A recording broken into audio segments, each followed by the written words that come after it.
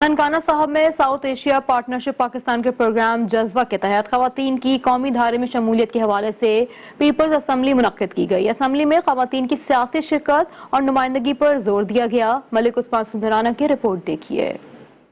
समाजी तंजीम South Asia partnership Pakistan के प्रोग्राम जज्बा के तहत अवामी असम्बली का इनका किया गया। इसम्बली में सेब पाकिस्तान के chief executive Mohammad Tahseen, national program officer Resham Adnan, सबक M N A Muslim League Noon doctor Shijra Mansab Ali Khan Kharal, member Punjab assembly Agha Ali Haider Fazar Sarao दीगर ने शिरकत की। पीपल्स असम्बली के इनका का मकसद खातन को अमली सियासत के मैदान में भी आगे लाना और आइंदा बल्दियाती इंतबात में तमाम नशस्तों आरोप खातन की अमली शिरकत को यकीनी बनाना है। इसम्बली में बल्दियाती इलेक्शन में कामयाब होने वाली खातन को इलाके को बाख्तियार बनाने पर भी ज़ोर दिया गया। पाकिस्तान में औरत बराबर है। और ये एक हकीकत है। और उस बराबरी का एक बुनियादी मकसद ये भी है कि उसको हर सियासी